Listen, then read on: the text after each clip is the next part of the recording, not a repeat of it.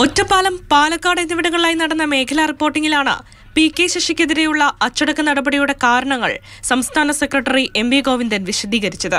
സാമ്പത്തിക ക്രമക്കേട് മാത്രമല്ല സി പി എം ജില്ലാ സെക്രട്ടറി ഇ എൻ സുരേഷ് ബാബുവിനെ സ്പിരിറ്റ് കേസിലും സ്ത്രീധന പീഡന കേസിലും പ്രതിയാക്കാൻ ശ്രമിച്ചെന്ന് എം വി ഗോവിന്ദൻ പറഞ്ഞു.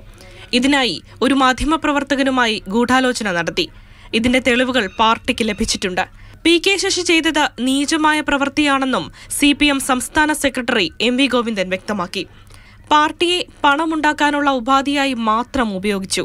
തെറ്റുകൾ ആവർത്തിക്കുന്ന സാഹചര്യത്തിലാണ് നടപടി. മുതിർന്ന നേതാവായതുകൊണ്ട് മാത്രമാണ് പുറത്താക്കാത്തത്. സി പി എം സമ്മേളനങ്ങളിൽ വിഭാഗീയത അനുവദിക്കില്ല.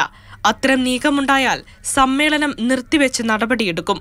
ഒരാളുടെയും കോക്കസായി നിൽക്കേണ്ടതില്ലെന്നും നേതാക്കൾ തുരുത്തുകൾ ഉണ്ടാക്കാൻ ശ്രമിക്കേണ്ടെന്നും എം വി ഗോവിന്ദൻ പറഞ്ഞു. അച്ചടക്ക നടപടി നേരിട്ട പി കെ ശശിയെ K T D C chairman സ്ഥാനത്ത് നിന്നും മാറ്റണമെന്ന് ജില്ലാ സെക്രട്ടേറിയറ്റ് സംസ്ഥാന നേതൃത്വത്തോട് ആവശ്യപ്പെട്ടിരുന്നു. മാതൃഭൂമി ന്യൂസ് പാലക്കാട്.